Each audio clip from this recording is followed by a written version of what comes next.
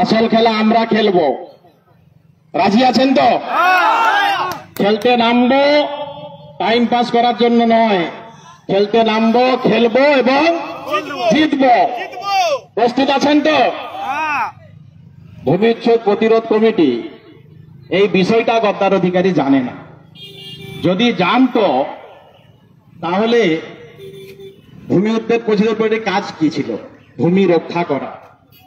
হরিয়ানা, পাঞ্জাব সহ আমাদের দেশের বহু কৃষকরা যারা জমিতে ফসল ফলান, দু ফসলি, তিন ফসলি ফসল ফলান, দুবার বা তিনবার বছরে, সেই জমি যারা চাষ করেন কৃষকরা দিল্লিতে গেছিলেন নরেন্দ্র মোদী সাহেবের সঙ্গে দেখা করার জন্য।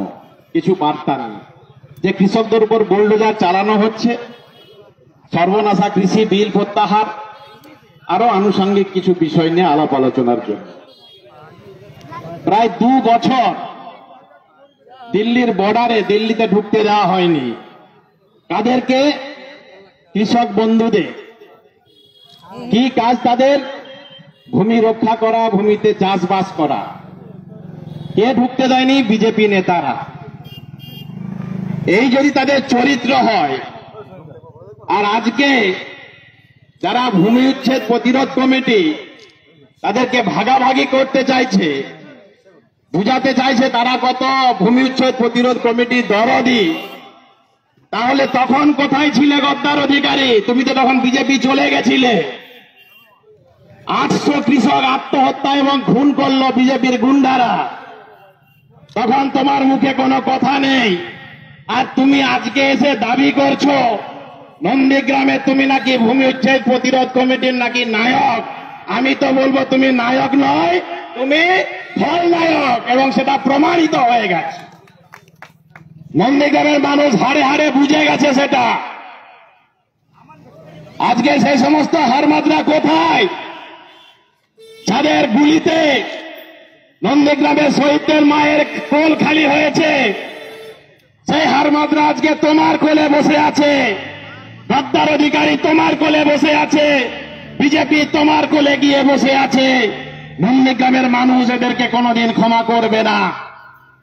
বাবু বলছিলেন যে আজকে এই শহীদ তর্পণে আসতে হলেও খেজুরি থেকে এবং চণ্ডীপুর থেকে লোক আনতে হচ্ছে কেন? কারণ নন্দীগ্রামের মানুষ থেকে তুমি বিচ্ছিন্ন হয়ে গেছো। নন্দীগ্রামের মানুষ তোমাকে প্রত্যাখ্যান করেছে। শহীদ পরিবার তোমাকে প্রত্যাখ্যান করেছে। আরেকটি বিষয় আপনাদের জ্ঞাতার্থে জানিয়ে রাখি। মমতা বন্দ্যোপাধ্যায় তৎকালীন রেলমন্ত্রী ছিলেন। শহীদ পরিবারের জন্য, বিয়াল্লিশটি পরিবারের জন্য রেলের চাকরির সুযোগ করে দিয়েছিলেন। তখন এই গদ্দার অধিকারী তৃণমূলে ছিল। এর চোখ দিয়ে তখন নন্দীগ্রাম দেখতেন নেত্রী মমতা বন্দ্যোপাধ্যায়। চাকরির সুযোগের যা সুযোগ সুবিধা গদ্দার অধিকারীর হাতে তুলে দেওয়া হয়েছিল। কিন্তু আজকের দিনও আফসোস, আমাদের যন্ত্রণা, বেদনায় জন্যই লাগে। যে শহীদ পরিবারের দেওয়া যেটুকু চাকরির সুযোগ ছিল, সেটাও গদ্দার অধিকারী আর মেঘনাথ পালরা সেটাও লুটে ফুটে খেয়েছে। এখানে বসে আছেন আমাদের ভাই, শেখ সেলিমের দাদা আছেন এখানে আমাদের, সানোয়ার ভাই কোথায়? মানে আমাদের কাছে এর থেকে লজ্জার কিছু নেই। যে শহীদ পরিবারকেও ভাঙিয়ে শুধু নয় তাদেরকে ভাগাভাগি করে এবং আজকের দিনে তাদেরকেও ভয় দেখানো হচ্ছে বিজেপির সঙ্গে থাকার জন্য। কতটা নিন্দনীয় ন্যাক্কার না হলে, কতটা নিচে নামতে পারে এই গদ্দার অধিকারী, সেটা আজকের দিনে তিনি বুঝিয়ে দিয়ে শহীদ পরিবারকে আবার ট্রেনিং দিচ্ছে যে এখানে থাকো। নন্দীগ্রামের মানুষ এর জবাব আগামীতে গণতান্ত্রিক ভাবে দেবে।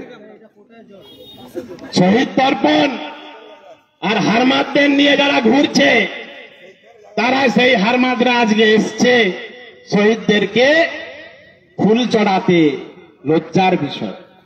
তবে গদ্দার অধিকারী এগুলো অভ্যস্ত আছে। আমরা জানি কুরবান সাহা মার্ডার কেসে ওনার নামও জড়িয়ে আছে। পোস্টমার্টাম করছে কুরবান সাহা, সেই পোস্টমার্টাম গাড়িতে উনি বসে সেই কুরবান সাহার বাড়িতে গেছেন। অভ্যস্ত আছেন। সিনেমায় আমরা দেখি এগুলো।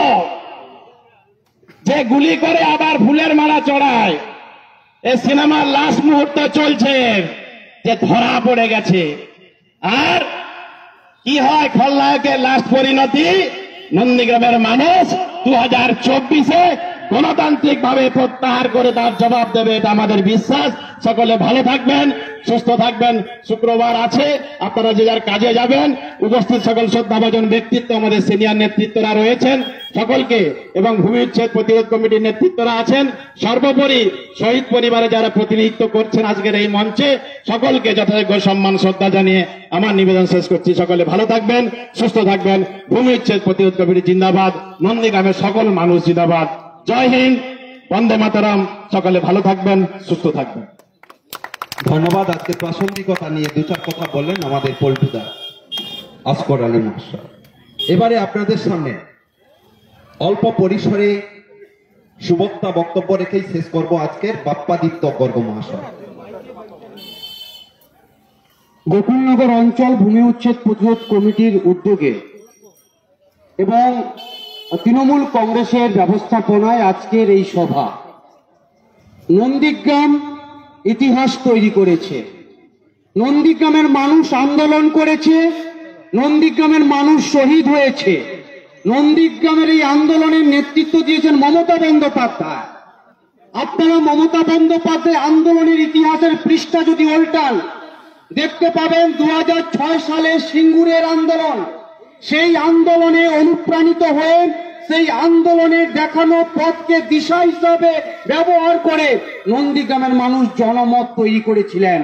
তাই মমতা বন্দ্যোপাধ্যায়কে সামনে রেখে নন্দীগ্রামে যে আন্দোলন হয়েছে, এই আন্দোলনের সুফল নন্দীগ্রামের মানুষই পেয়েছে। আজকে যিনি এই নন্দীগ্রামের আন্দোলনকে হাইজ্যাক করে নন্দীগ্রামের শহীদের উপরে দাঁড়িয়ে যিনি তার রাজনৈতিক জীবনের ইমারত তৈরি করেছেন এই আন্দোলন সাক্ষী দেয়। ওনাকে কেউ একটা চিমটিও কাটতে পারেনি। ওনার সাদা পাঞ্জাবিতে এক ফোঁটা রক্তের দাগও নেই। শহীদ হয়েছে নন্দীগ্রাম, শহীদের রক্তে নন্দীগ্রামের মাটি রক্তিম হয়ে গেছে। তাই নন্দীগ্রামের মা তার ছেলেকে হারিয়েছে, নন্দীগ্রামের দিদি তার ভাইকে হারিয়েছে। এখনও পর্যন্ত নন্দীগ্রামের জমি, ভূমি, মন্দির, মসজিদ, তুলসী মঞ্চ, শ্মশান, কবরস্থান রক্ষা করতে গিয়ে যারা নিখোঁজ হয়েছেন, নন্দীগ্রামে এখনও অনেক রমণী রয়েছেন, তার নিখোঁজ হওয়া স্বামীর জন্য বিনিদ্র রজনী জেগে থাকে, যদি পুনরায় ফিরে আসে। এই ট্র্যাজেডি এই বেদনা এই হাহাকার এই আর্তনাদ নন্দীগ্রামের মানুষ তার হৃদয় দিয়ে অনুভব করে, উপলব্ধি করে। আর উনি উনি শকুনের মতো অপেক্ষা করতেন। নন্দীগ্রামে কখন আন্দোলন করতে গিয়ে নন্দীগ্রামবাসী শহীদ হবেন? আর রজনীগন্ধার মালার সৌরভ ছড়িয়ে উনি তার সুফলটা ভোগ করবেন। এই সুবিধাবাদী এই সুবিধাবাদী শুভেন্দু অধিকারীকে নন্দীগ্রামের মানুষ গণতান্ত্রিকভাবে জবাব দেবে। বক্তব্য দীর্ঘায়িত করব না। আজকে আমাদের সব থেকে কষ্টের বিষয়, লজ্জার বিষয়, এই অজয় মণ্ডলের মতো নেতৃত্বরা সেদিন আন্দোলন করেছেন। কিন্তু আমরা দেখতে পাচ্ছি, এই শহীদ বেদি আজকে অপবিত্র হয়ে গেছে। কারণ যাদের হাতে শহীদের রক্ত লেগে আছে, যারা সেই সময় নন্দীগ্রামের আন্দোলনরত নন্দীগ্রামবাসীকে গুলি করেছে সেই হারমাদদের মঞ্চ আলো করে শুভেন্দু অধিকারী আজকে এই শহীদ স্মরণ সভা করে নিয়ে গেল। এই রাজনৈতিক দ্বিচারিতা নন্দীগ্রামের মানুষ অচিরেই তাকে বুঝিয়ে দেবে। কারণ নন্দীগ্রামের মাটি মমতা বন্দ্যোপাধ্যায়ের মাটি। নন্দীগ্রামের মাটি মমতা বন্দ্যোপাধ্যায়ের দুর্জয় ঘাঁটি। নন্দীগ্রামের মাটি তেভাগা আন্দোলনের মাটি। নন্দীগ্রামের মাটি স্বাধীনতা আন্দোলনের মাটি। নন্দীগ্রামের মাটি গণ আন্দোলনের মাটি। নন্দীগ্রামের মাটি বস্যতা বিরোধী আন্দোলনকে সমৃদ্ধ করার মাটি। এই মাটিতে কোনোদিন অশুভ শক্তি বেড়ে উঠতে পারে না। আমি শহীদদের সকলের প্রতি অন্তরের অন্তঃস্থল থেকে সমবেদনা জ্ঞাপন করে, সবার সুস্থতা কামনা করে আগামী দিনের লড়াইয়ের জন্য দৃঢ় প্রতিজ্ঞ মানসিকতা আপনাদের হচ্ছে তৈরি করবার আহ্বান জানিয়ে আমার কথা এখানে